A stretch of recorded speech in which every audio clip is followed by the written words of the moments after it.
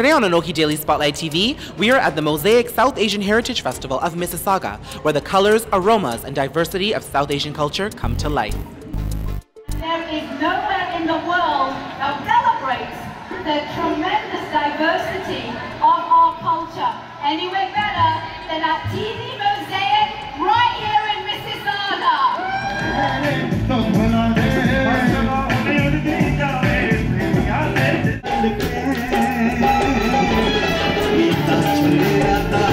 So, a new Mosaic is in its eighth year. It's the largest South Asian Heritage Festival in North America. How does that feel? Well, I can't say it's not exciting. It is unbelievably exciting. This is one of the best years we've had. 150 artists come from all over the world, most of them Canadian though, which is why we love to promote local talent.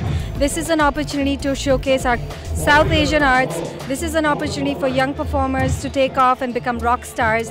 And for those who are the big stars, this is an opportunity to get more fans.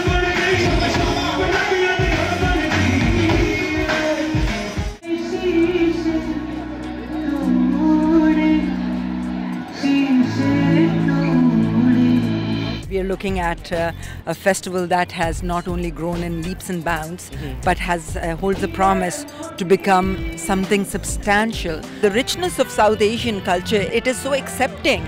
In that way, we are very uh, accommodating. We are very pliable, and our uh, we are always embracing of other ideas, other musical instruments, other sounds, other steps and incorporate that within our, our culture. We have this unique mix from uh, East uh, India, uh, you can get it from uh, Indies, you can get it from South Africa, uh, and, and from Malaysia.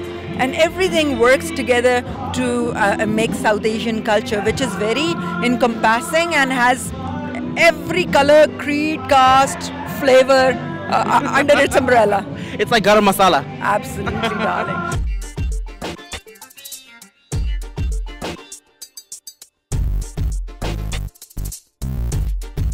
To bring this to the Canadian diaspora and to share with them, it always makes them feel like, oh my God, we didn't know about this. Yes. They're always learning something new and they are always enjoying it because one, it's colorful, it's energy, it's bright, and also within all of us, there's this one unique spark of, I think it's uh, bringing people together, it's a way of life, it's tolerance, and I think that kind of really uh, the spiritual energy that sort of enlightens these people and they start to fall in love with South Asian culture all over again. You know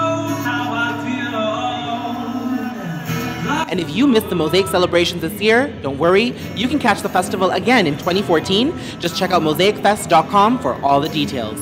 And of course, for our show, you can check us out at anokhimedia.com and our YouTube channel. And don't forget to interact with us on Facebook and Twitter.